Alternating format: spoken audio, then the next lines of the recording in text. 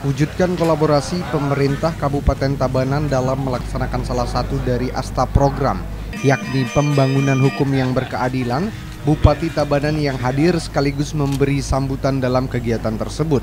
Bupati sangat mengapresiasi dan menyambut baik pembangunan geria restoratif justice atau dikenal dengan RJ tersebut sebagai wujud kolaborasi pembentukan hukum yang berkeadilan.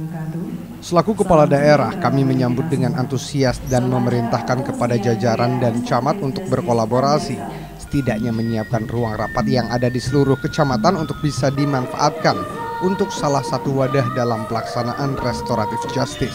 Kami sangat menunggu-nunggu sekali Tabanan. Dulu hampir sudah kita ingin laksanakan. Mungkin belum jodoh, ternyata Pak Kajati yang baru, Pak Kajati Pak Narendra yang terhormat bisa melaksanakan, membuka, melonsing restorasi justice, Gria Restorasi Justice di Kabupaten Tabanan. Ini merupakan sebuah kehormatan buat kita di Kabupaten Tabanan. Bupati Tabanan Sanjaya juga mengapresiasi dan memberikan penghargaan atas diresmikannya Geria Restoratif Justice.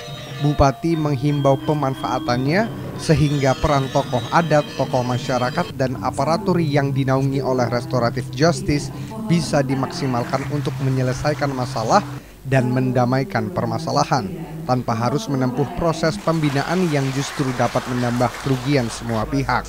Sementara itu, Kepala Kejaksaan Tinggi Bali dalam sambutannya menyatakan pembentukan rumah restoratif justice kiranya dapat menjadi tempat bagi aparat penegak hukum khususnya jaksa untuk dapat mengaktualisasikan budaya luhur bangsa Indonesia yaitu musyawarah mufakat dalam penyelesaian perkara.